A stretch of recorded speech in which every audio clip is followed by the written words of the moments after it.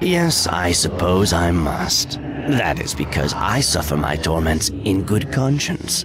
These others, they're here for different reasons. Some are held here by pain, others by anger or regret. I created the Guardian, you see. Yes, me, a silly fat dwarf. I created him, later tried to destroy him, and I would do it all again. I make no apologies. Indeed, the fault is mine, if it makes you feel any better. I have been trapped in this foul undeath for more centuries than I dare to count, and I will likely remain here for many more. It's not a pleasant fate, but I would gladly endure my torments a hundredfold before I took back the decisions I made. I understand your anger, and I am sorry for your loss but I do not regret what I did, nor would I ever. A great man, a patriot. Can you imagine such a sacrifice? He didn't simply give up his life, he offered up his very self for his people. The consequences Thousands of innocent people protected from the wrath of Netheril, an enclave of culture and tolerance preserved against a canvas of hate and war. No, I do not regret the consequences. The Guardian saved my people.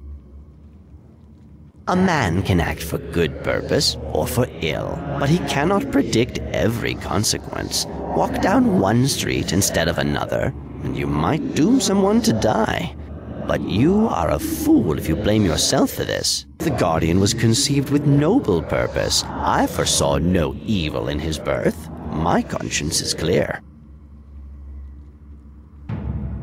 After his corruption, yes, we tried twice to destroy him. Well, I'm told they tried again afterward, but by then, I was dead. First, we sent the Silken Sisters against him. Silly and foolish, those elf girls, but brave too. I warned them not to strike the Guardian. I counseled our leaders to withdraw, to pull all our folk from the Heartland, and to regroup, to make a plan. The sisters were destroyed. Then our leaders turned to me, and I devised the ritual, the very ritual of purification which you seek to complete. We failed. The ritual functioned as expected, but there was dissent amongst us. Some of the wizards, old friends of his, refused to strike.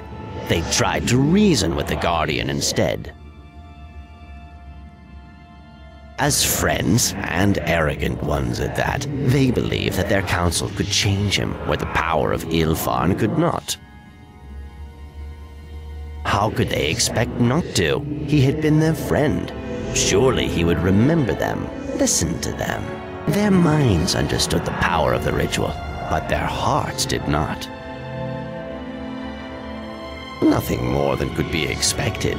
The Guardian was no longer a man, no matter what his friends believed. We were divided, and the Guardian slew us, drained our lives, everyone. And with us perished the might of Illefarn.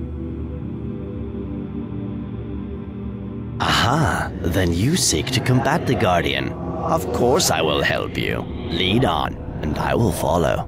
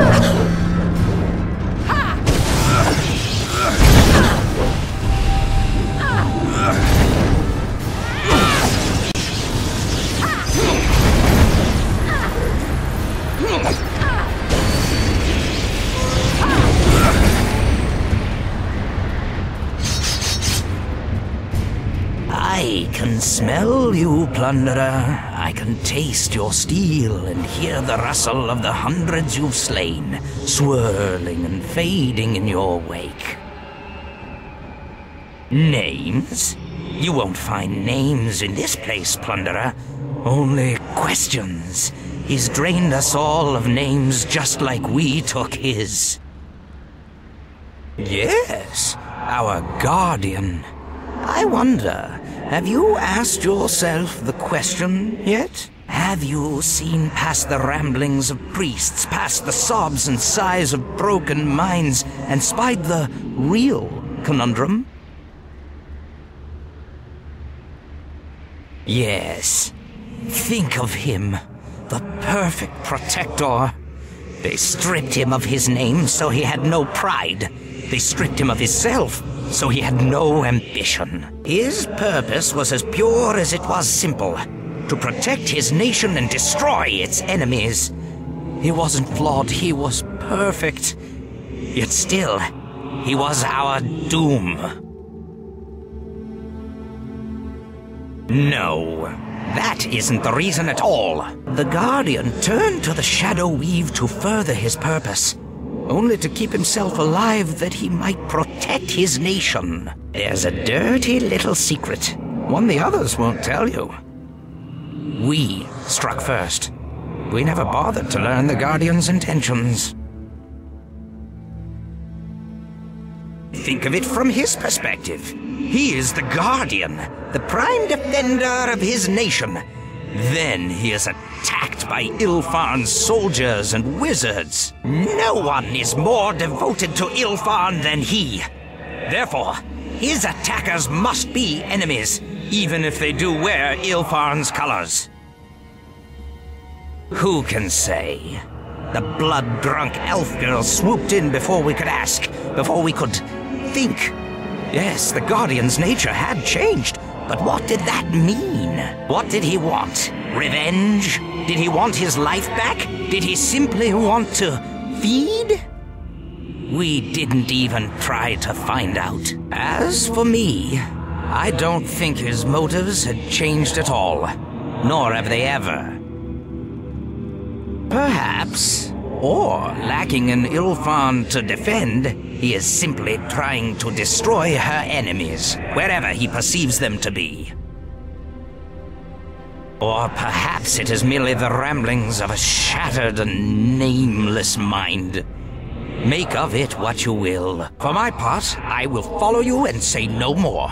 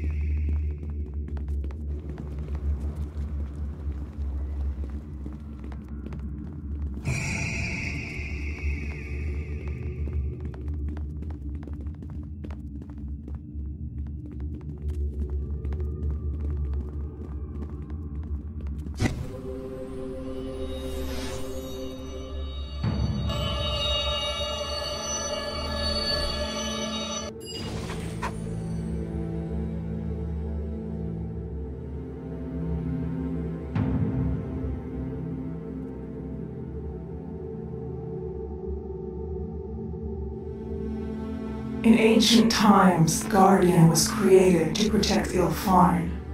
If the time has come to dismantle our great instrument, you will be an agent of its destruction. Take this blessing of communion.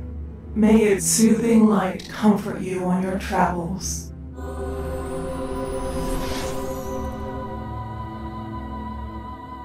The fourth part of the ritual is complete. Focus your will upon the statue.